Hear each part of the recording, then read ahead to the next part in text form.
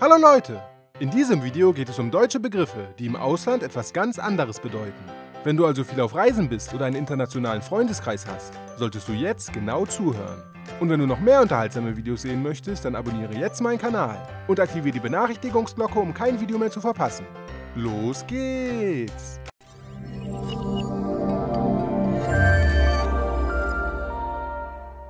Nummer 1. Prost. Der deutsche Trinkspruch Prost, den man sich beim Anstoßen zuruft, sollte man lieber keinen Rumänen wünschen. Denn Prost heißt auf Rumänisch dumm. Nummer 2.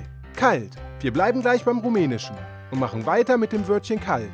Viele Rumänen kommen immer wieder durcheinander, wenn man sie fragt, ob ihnen kalt ist. Denn auf Rumänisch bedeutet kalt genau das Gegenteil wie im Deutschen, nämlich warm. Nummer 3. Klarkommen.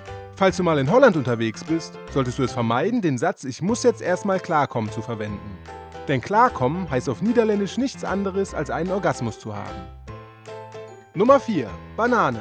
Auch in der türkischen Sprache gibt es viele deutsche Begriffe, die etwas komplett anderes bedeuten. Zum Beispiel die Banane oder auf Türkisch Banane. Wenn du das in der Türkei sagst, wird dir niemand eine Banane bringen, denn es bedeutet so viel wie ist mir doch egal.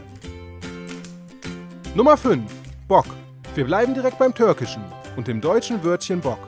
Es dient als Vorsilbe für die Bockwurst, wird für diverse männliche Tiere verwendet oder heißt einfach nur auf etwas Lust haben.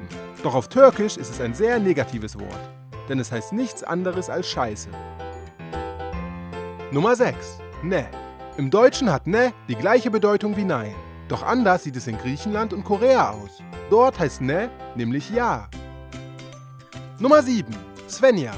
Der Name Svenja kommt ursprünglich aus Skandinavien und ist die weibliche Version von Sven. Doch in Russland könnte er ein Gelächter auslösen. Denn das Wort Svenja bedeutet auf Russisch Schwein.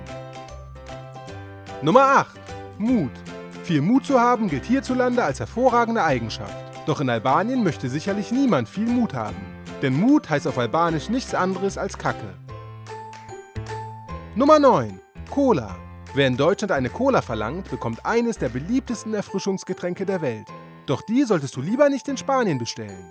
Denn dort heißt das Wort Cola nichts anderes als Schwanz. Das Getränk, was wir hierzulande als Cola bezeichnen, wird in Spanien einfach nur Coca genannt. Nummer 10. Vater. Lustig könnte es werden, wenn du in einem englischsprachigen Land von deinem Vater redest. Denn was für uns eindeutig ein Elternteil ist, hört sich für einen Engländer wie Vater, also Furzer an.